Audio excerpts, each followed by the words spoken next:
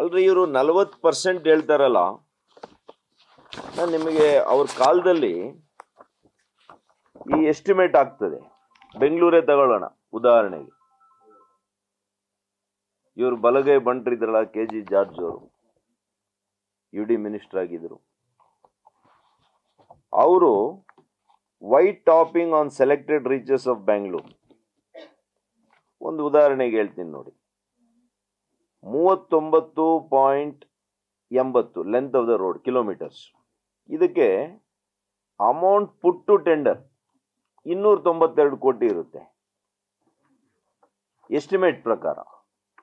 ಆದರೆ ಅವರು ಅಪ್ರೂವ್ ಮಾಡೋದಿಷ್ಟಕ್ಕೆ ಇಪ್ಪತ್ತೈದು ಪರ್ಸೆಂಟ್ ಮೇಲೆ.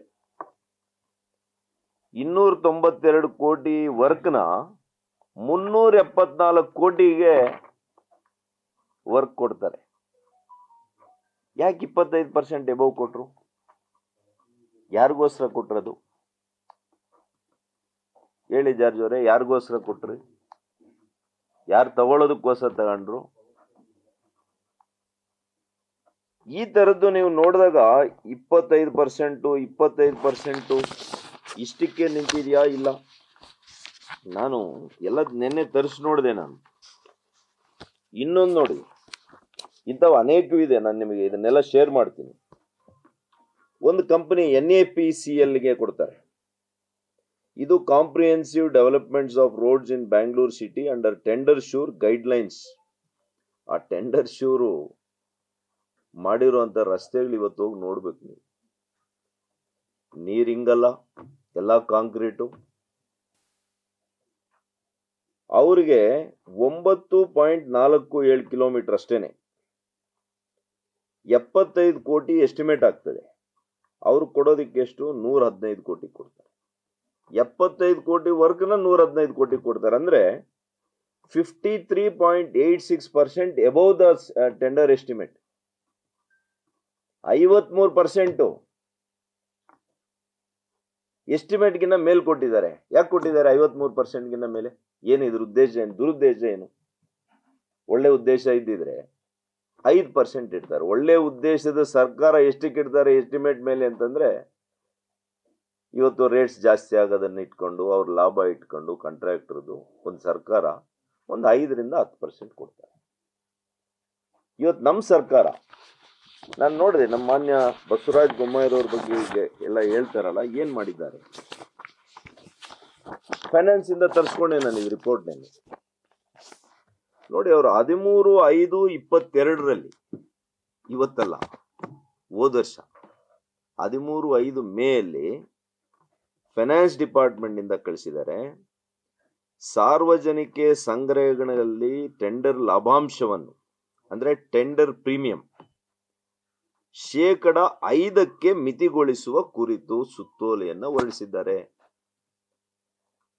ಸೊ ಎನಿ ಎಸ್ಟಿಮೇಟ್ ಮೇಲೆ ಟೆಂಡರ್ ಪ್ರೀಮಿಯಂ ಅನ್ನ ಐದು ಪರ್ಸೆಂಟ್ಗಿನ್ನ ಜಾಸ್ತಿ ಮಾಡಬಾರ್ದು ಅಂತ ಹೇಳಿದ್ದಾರೆ.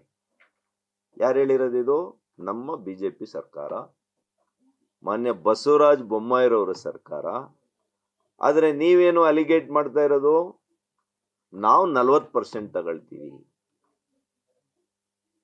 ಐವತ್ತು ಪರ್ಸೆಂಟ್ ಜಾಸ್ತಿ ಕೊಟ್ಟಿರೋರು, ನೀವು ತೆಗೆದುಕೊಂಡಿರೋದು ಐವತ್ತು ಪರ್ಸೆಂಟ್ ಅರವತ್ತು ಪರ್ಸೆಂಟ ನೀವ್ ಹೇಳ್ಬೇಕು. ಐದು ಪರ್ಸೆಂಟ್ ಟೆಂಡರ್ ಪ್ರೀಮಿಯಂ ತೆಗೆದುಕೊಂಡಿರೋಂಥವನು ಐವತ್ತು ಪರ್ಸೆಂಟ್ ಕೊಡೋಕ್ಕಾಗುತ್ತಾ? ನಲ್ವತ್ ಪರ್ಸೆಂಟ್ ಕೊಡೋಕ್ಕಾಗುತ್ತಾ? ಅಥವಾ ಐವತ್ ಪರ್ಸೆಂಟ್ ಟೆಂಡರ್ ಪ್ರೀಮಿಯಂ ತೆಗೆದುಕೊಂಡಿರ್ತಕ್ಕಂಥ ಕಾಂಟ್ರಾಕ್ಟ್ರು ಆ ಸರ್ಕಾರಕ್ಕೆ ಹೆಚ್ಚು ಹಣ ಕೊಡಲಿಕ್ಕೆ ಸಾಧ್ಯ ಇದೆ ಅನ್ನೋದನ್ನ ನೀವು ಇದಕ್ಕೆ ಉತ್ತರ ಕೊಡಿ. ಇಂಥದ್ದು ಅನೇಕ ಕೆಲಸಗಳು ಬಿ ಬಿ ಎಂ ಪಿ ಲಿಮಿಟ್ಸಲ್ಲಿ ಬಿ ಡಿ ಎ ಲಿಮಿಟ್ಸ್ ಅಲ್ಲಿ, ಇದೆಲ್ಲ ಕೂಡ ತರಿಸಿದ್ದೀನಿ, ಸುಮಾರು.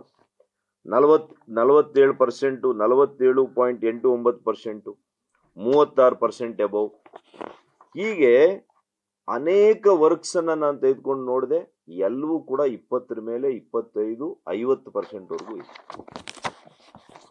So this is about Bangalore ಇನ್ನು ನಮ್ಮ ಸರ್ಕಾರದ ಮೇಲೆ ಒಂದು ನೆರೇಟಿವ್ ಅನ್ನ ಸೆಟ್ ಮಾಡಬೇಕು ಅಂತೇಳಿ. ಯಾಕೆಂದ್ರೆ ಇನ್ನು ಮೂರು ತಿಂಗಳು ಚುನಾವಣೆ ಇದೆ. ಇವ್ರಿಗೆ ಯಾವುದೇ ವಸ್ತು ಸ್ಥಿತಿಯಲ್ಲಾಗ್ಲಿ, ವಸ್ತುನಿಷ್ಠ ವಿಷಯಗಳು ಯಾವುದೂ ಇಲ್ಲ. ಯಾವುದೇ ಇಲಾಖೆ ಮೇಲೆ ಗುರುತರವಾದಂತ ಆಪಾದನೆ ಮಾಡೋದು ಗೊತ್ತಿದೆ ಬಿಟ್ರೆ, ಅದಕ್ಕೆ ಬೇಕಾದಂತ ಒಂದು ಸಾಕ್ಷಿಯನ್ನ ಕೊಡ್ಲಿಕ್ಕಾಗಿಲ್ಲ. ಅಥವಾ ನಿಜವಾಗಿಯೂ ಕೂಡ ನಿಮ್ಮ ಗುರುತರ ಆಪಾದ, ಆಪಾದನೆ ಸತ್ಯ ಆಗಿದ್ದಿದ್ರೆ ನೀವು ಸಂಬಂಧಪಟ್ಟಂತಹ ವ್ಯವಸ್ಥೆಗಳಲ್ಲಿ ನಂಬಿಕೆ ಇಟ್ಟಂತಹ ಒಂದು ತನಿಖಾ ಸಂಸ್ಥೆಗಳಿಗೆ ದೂರನ್ನ ಕೊಡಬೇಕಾಗಿತ್ತು, ದೂರನ್ನ ದಾಖಲ್, ದಾಖಲಿಸಬೇಕಾಗಿತ್ತು. ಅದು ಮಾಡಲಿಲ್ಲ. ಇಲ್ಲಿವರೆಗೂ ಮಾಡಲಿಲ್ಲ. ಇನ್ನ ಕೆಲವು ಕೋರ್ಟ್ಗಳೆಲ್ಲ ನಿಮ್ಗೆ ಚಿಮಾರಿ ಹಾಕಿದೆ. ಅದೆಲ್ಲ ಸತ್ಯ ಇಲ್ಲ ಅಂತೇಳಿ. ಇವತ್ತಿನ್ನು ನಿಮ್ಮ ಮೇಲೆ ನಮ್ಮ ಲೀಡರ್ಸು ಇವತ್ತು ಲೋಕಾಯುಕ್ತದಲ್ಲಿ ಕಂಪ್ಲೇಂಟ್ ಕೊಡ್ತಾರೆ. ನಿಮ್ಮ ಸರ್ಕಾರದ ಆಡಳಿತದಲ್ಲಿ ಏನಾಗಿದೆ ಅಂತೇಳಿ ನಮ್ಮ ಹಿರಿಯ ನಾಯಕರು ಇವತ್ತು ಹೋಗಿ ಲೋಕಾಯುಕ್ತಕ್ಕೆ ಕಂಪ್ಲೇಂಟ್ ಕೊಡ್ತಾರೆ ಈಗ. ನೀವು ಕೊಡಿ. ಆ ರೀತಿಯಲ್ಲಿ ಏನಾದರೂ ನಮ್ಮ ಸರ್ಕಾರದ ವಿರುದ್ಧ ದಾಖಲೆಗಳಿದ್ರೆ ಸಾಕ್ಷಿಗಳಿದ್ರೆ ನಿಮ್ಮ ಆಪಾದನೆಗಳ ಏನು ಮಾಡ್ತಾ ಇದ್ದೀರ ಸತ್ಯ ಇದ್ರೆ ಜನರಿಗೆ ಗೊತ್ತಾಗ್ಲಿ. We are open to it ನೀವು ಹೋಗಿ ಕಂಪ್ಲೇಂಟನ್ನು ಕೊಡಿ ಲೋಕಾಯುಕ್ತಕ್ಕೆ. ಕೋರ್ಟ್ ಮುಂದೆ ಕೊಡಿ. ಇವ್ಯಾವು ಮಾಡ್ತಾ ಇಲ್ಲ, ನೀವೇನ್ ಮಾಡ್ತಾ ಇದ್ರಿ ಜನರಿಗೆ ಮಂಕುಬೂದಿಯನ್ನ ಹಚ್ಚಲಿಕ್ಕೆ ಪ್ರಯತ್ನ ಮಾಡ್ತಾ ಇದ್ದೀರಿ. ಇದು ಸಾಧ್ಯ ಇಲ್ಲ. ಕರ್ನಾಟಕದ ಜನ ಈಗಾಗಲೇ ನೋಡಿದ್ದಾರೆ. ಬೆಂಗಳೂರಿನ ನಿವಾಸಿಗಳು ನೋಡಿದ್ದಾರೆ. ಅವರಿಗೆ ನ್ಯಾಯಯುತವಾಗಿ ಸಿಗ್ಬೇಕಾಗಿರುವಂತ ಸೈಟ್ಗಳನ್ನ ನೀವು ಹಣ ಇಸ್ಕೊಂಡು ಜಮೀನುಗಳನ್ನ ಡಿನೋಟಿಫಿಕೇಶನ್ ಮಾಡಿ ಹತ್ತಾರು ಸಾವಿರ ಸೈಟ್ಗಳನ್ನ ಅವರಿಗೆ ನುಕ್ಸಾನ್ ಮಾಡಿದಿರಿ ಅನ್ಯಾಯ ಮಾಡಿದಿರಿ